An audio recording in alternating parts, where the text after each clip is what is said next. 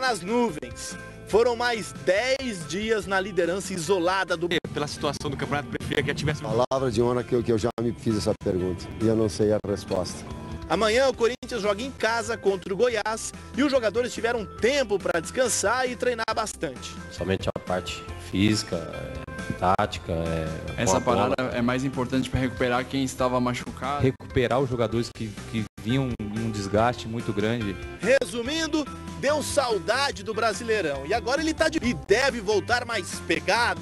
Cada jogo é uma final. Meu Corinthians, o líder do campeonato. E a pergunta é: será que o Wagner Love vai desencantar nesse final de campeonato? Já já.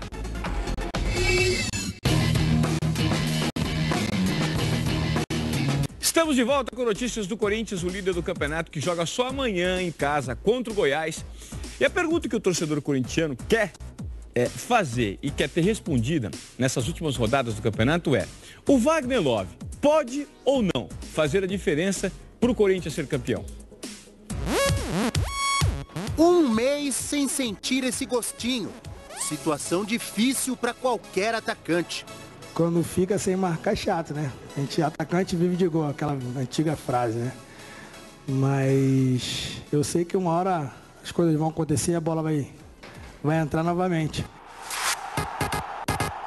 Wagner Love é o vice-artilheiro do Corinthians no Brasileirão com oito gols.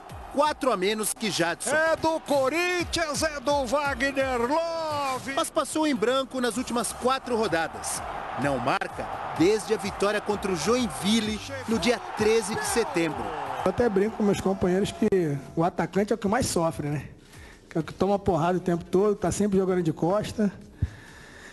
É... Dificilmente pega uma bola sozinho. Ainda quando não faz gol é o mais cobrado.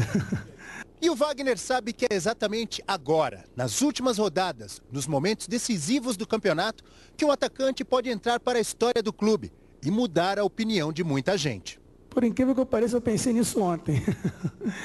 Tava deitado e falei, pô, quem sabe, né? É, eu não posso aí marcar hoje nesse, nessas últimas nove rodadas aí do campeonato e ajudar o Corinthians a ser campeão. O objetivo exigente torcida. Eu confio no meu potencial, confio no meu trabalho, não preciso estar provando nada para ninguém. Então, é, se isso acontecer, vai ser muito bom para mim, para minha família e, e tenho certeza que para o Corinthians também.